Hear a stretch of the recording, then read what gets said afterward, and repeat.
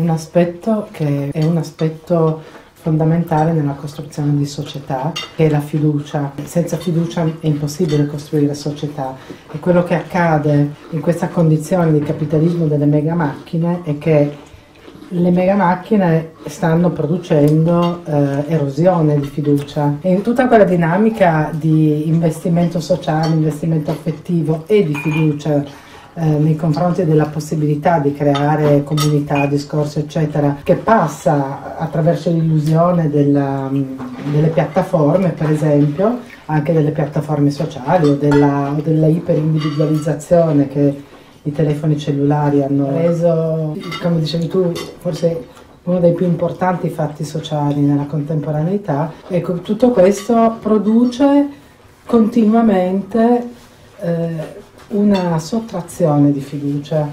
Basta vedere quello che, quello che, è successo con le elezioni negli Stati Uniti, per esempio, oppure con tutta la circolazione di dati, l'intromissione nella gestione di dati politici, personali, eccetera. Cioè, tutto questo fa chiaramente molto male alla democrazia, ma forse anche al capitalismo fa male.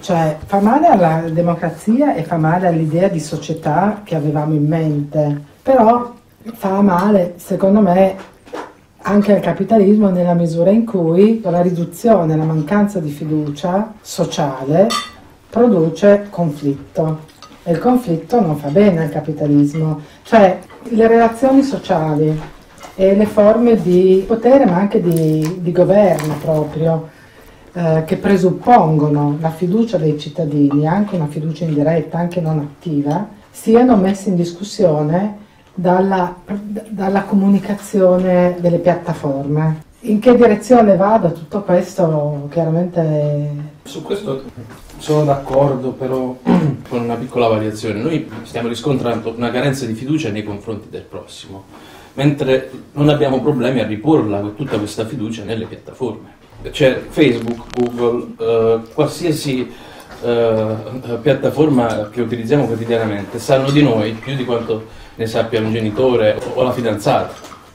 Cioè, conoscono le preferenze sessuali, conoscono i gusti, eh, gli orientamenti religiosi, conoscono i gusti commerciali.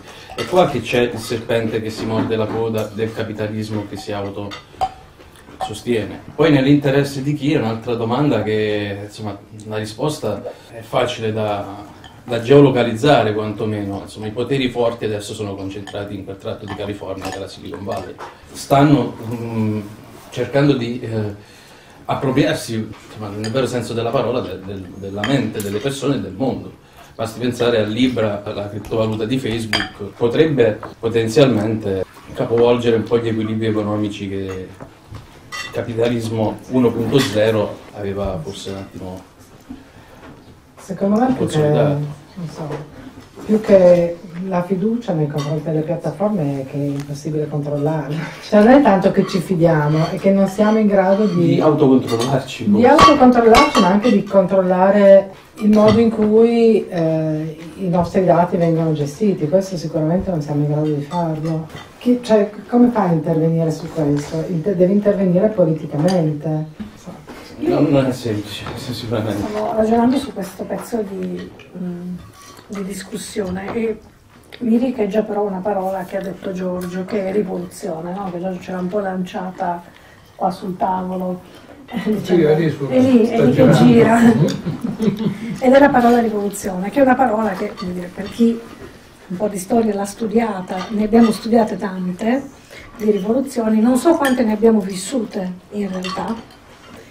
Eh, e se penso alla rivoluzione penso anche a una questione di temperatura la rivoluzione è fredda, nel senso che è scomoda, mentre la vita che stiamo facendo oggi, o comunque la vita delle piattaforme, del benessere, è una vita calda, cioè una vita comoda. Quindi la rivoluzione oggi presuppone ehm, una scomodità. Entrare nella rivoluzione vuol dire veramente abbandonare tanta comodità, anche quella degli strumenti che ci supportano nel facilitare i contatti e la comunicazione, seppur poi terzializzata. No. Cioè, secondo te c'è un afflato rivoluzionario che mette in discussione queste cose o no? Io l'ho fatto rivoluzionario l'ho visto sugli Champs-Élysées, ma questo è un Sì, altro discorso. esatto. Eh, Io non sono, non sono tanto d'accordo sul fatto, sì, eh, la nostra è una vita comoda, ma non può durare. Esatto. Quindi eh, di fatto chi si oppone non è Lenin, è la biosfera, eh, quindi è- Certo. e la biosfera è più potente di Lenin forse. Io credo che la rivoluzione è scomoda, però eh, è a mio parere inevitabile in qualche maniera, non dico la nostra, la- no, sicuramente non, non sicuramente, non si può dire sicuramente, ma probabilmente non la mia generazione, la vostra già è più a rischio a mio parere,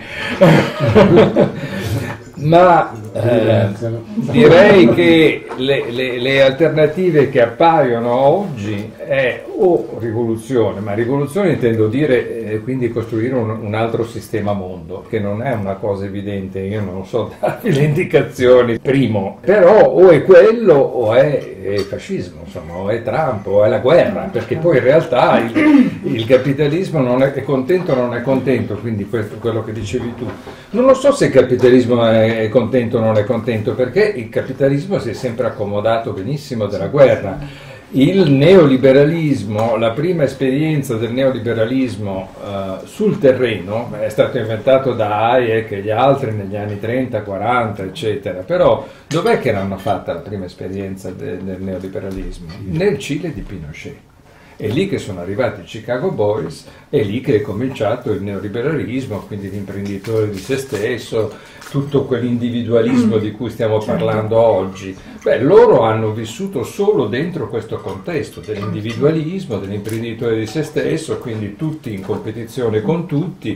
E questa è la realtà eh, che abbiamo di fronte, insomma, no? Quindi eh, non, non sono qua a fare il, il Lenin eh, della situazione, il Lenin ecologico, dico solo che le, le cose stanno andando in questo senso. Stiamo andando verso questa situazione. E il capitalismo è il problema centrale è quello che, ha- ha- secondo me, Marx si sbagliava su una cosa, ma che è fondamentale.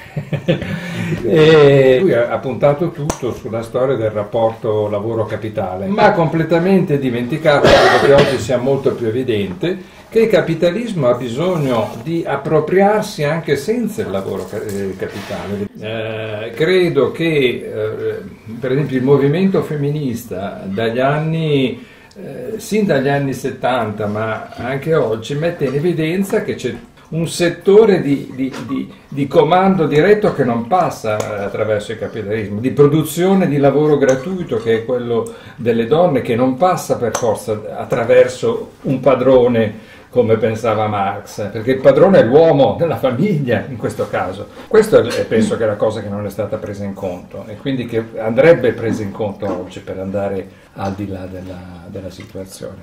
Secondo, ehm, eh, quando dico la biosfera, ho detto la biosfera, però ho detto un- probabilmente una, una stupidaggine, probabilmente può succedere molto prima della biosfera, perché in realtà noi siamo sull'orlo del baratro, noi stiamo vivendo un mondo a interessi negativi, cosa che non è mai su- successa nella, nella storia umana. E quindi in realtà, eh, sempre per dire dove stiamo andando, in realtà eh, le, come dire, le medicine che sono state usate per eh, cercare di bloccare il 2000 la crisi finanziaria, del, la crisi del capitalismo nel 2008, eh, sono state utilizzate. Il vaccino eh, non funziona più. E basta niente, eh, perché basta niente perché basta che ci sia un altro crash finanziario. Non è che dobbiamo aspettare che il mare arriva a Torino, non è quello il fatto, è la finanza il problema.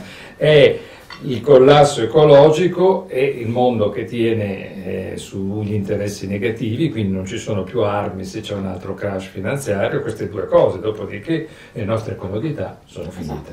Ecco, questo è- questa è la situazione, per questo dico che secondo me vale la pena di darsi una mossa e che secondo me i Gilets jaunes non hanno tutti i torti quando si danno una mossa.